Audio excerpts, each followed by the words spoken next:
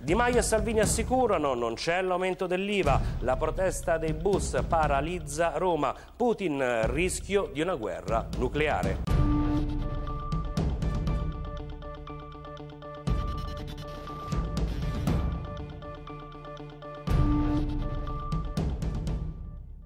Bene aver evitato la procedura di infrazione, ma l'Europa deve cambiare. È la linea del governo il giorno dopo lo stop di Bruxelles alle procedure per il debito italiano con l'intesa sulla manovra raggiunta.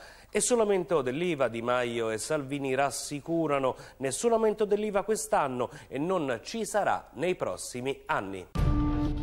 Protesta dei bus turistici a Piazza Venezia, a Roma, traffico bloccato in tutta l'area del centro della città, agitazione indetta contro il nuovo regolamento del Comune di Roma che prevede a partire dal 2019 una zona off limits all'interno del centro della città e costi maggiori per gli ingressi autorizzati. Inaccettabile che Roma sia tenuta sotto scacco, dice la sindaca Raggi. Durissimo il Codacons sanzioni ai responsabili delle proteste.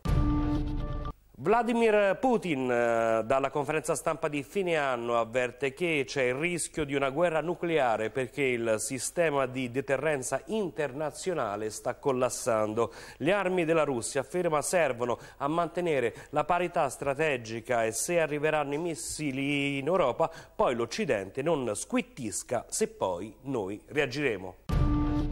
Tragedia a Roma, una donna si è lanciata nel Tevere ed è stata ritrovata morta qualche ora dopo dai sommozzatori dei vigili del fuoco sotto Ponte Marconi. Al momento non si hanno notizie dei due figli neonati per i quali proseguono ancora le ricerche.